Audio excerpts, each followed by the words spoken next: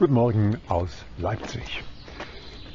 Bei uns äh, beim Bundesverband Initiative 50 Plus, aber auch bei uns im Portal Mensch Escher geht es auch immer wieder um die Frage, wie kann man möglichst lange, möglichst gesund bleiben. Körperlich, fit, aber auch was die Gedanken angeht. Fit im Kopf. Auch das ist ja ganz wichtig. Was nutzt der beste, der fitteste Körper, wenn oben Stillstand ist?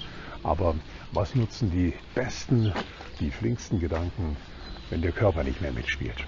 Und da gibt es die verschiedensten Tipps. Bei uns auf den Seiten, aber auch in den Illustrierten. Jede Woche ist da irgendwas Neues zu erfahren. Mal geht es um Nüsse, eine Handvoll, die uns da oben im, äh, in die grauen Zellen fit hält. Mal geht es um Leinöl, der nächste sagt, wir machen einen Kopfstand.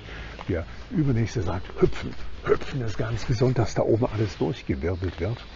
Und äh, ich habe einen Tipp, der äh, sicherlich auch nicht neu ist, aber der mir immer wieder geholfen hat, da oben äh, neue gute Gedanken zu haben, nämlich der Umgang mit der Jugend. Da kann man sagen, ja, intim, alles durchmischt, prima.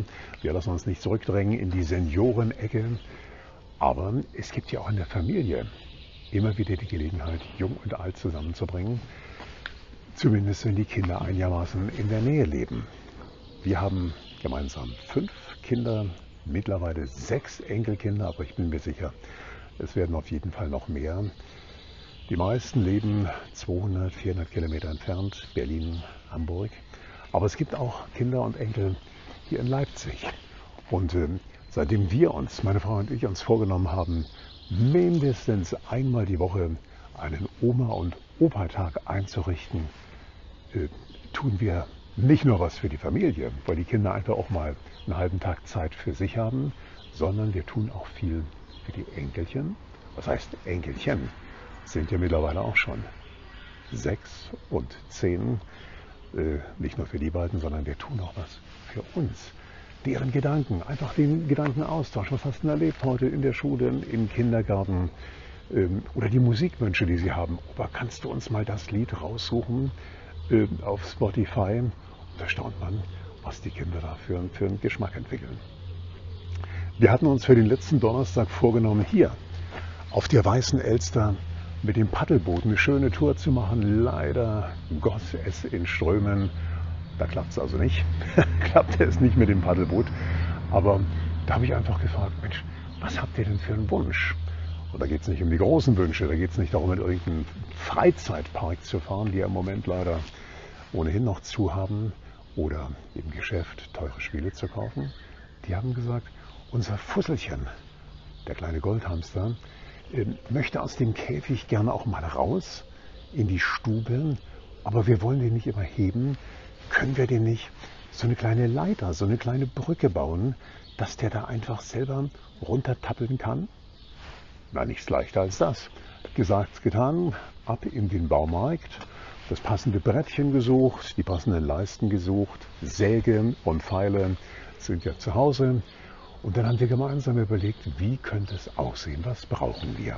Wie groß sollen denn die Abstände auf dem Brettchen sein, wo dann die Quer, die kleinen Querhölzchen äh, geklebt werden, damit er ganz bequem dort rauf und runter tappeln kann. Wie schräg darf es sein?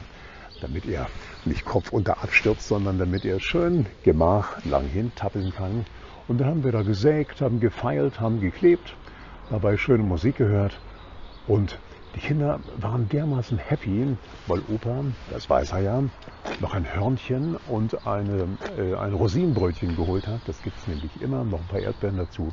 Und hat mir einen so schönen gemeinsamen Nachmittag anregend für den Opa und äh, schön für die Enkelchen.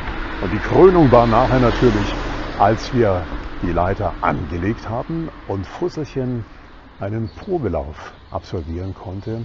Und der hat das sofort kapiert. Raus, runtergetappelt. Das war ein Juhu, eine Freude auf beiden Seiten. Ach, auf drei Seiten. Bei den Enkeln, beim Opa und natürlich auch bei Fussel dem kleinen Hamster, der plötzlich viel mehr Freiheit gewonnen hat. Und äh, vielleicht nutzen Sie ja schon den nächsten Dienstag, den Internationalen Kindertag, Ich weiß, er wurde vor allen Dingen hier im Osten äh, gefeiert, den Internationalen Kindertag, um mit ihren Kindern, mit ihren Enkeln mal wieder was gemeinsam zu tun. Nicht nur für die grauen Zellen und für die Familienzusammenführung, sondern weil es einfach Spaß macht und weil es wichtig ist, dass Jung und Alt zusammenhalten. In dem Sinne, herzliche Grüße aus Leipzig.